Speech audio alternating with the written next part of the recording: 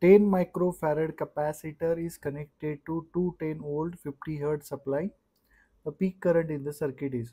So as only voltage in the form of this 210 and 50 hertz is given so this represent root mean square voltage which is equal to 210 from this we can find e naught that is peak value which is equal to root 2 into erms which is equal to root 2 into 210 volt. And from this as uh, capacitance is given we can find xc xc is 1 by 2 pi fc right? So the value of peak current is e naught by xc and e naught by xc is 1 by 2 pi fc the formula for i naught is e naught into 2 pi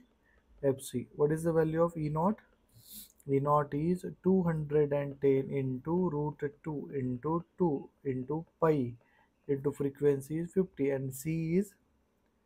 10 microfarad means 10 into 10 to the power minus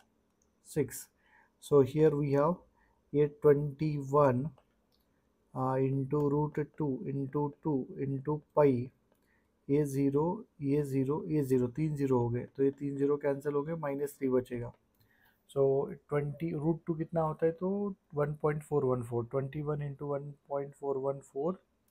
into two into three point one four is one eighty six आ रहा है। कहीं तो हम लोगों ने कुछ miss किया है और फाइव मिसिंग है ना यहाँ पर? इंटू फाइव ही आएगा। Into five is nine thirty two point three nine into ten to power minus three means 0.93 option B is a correct one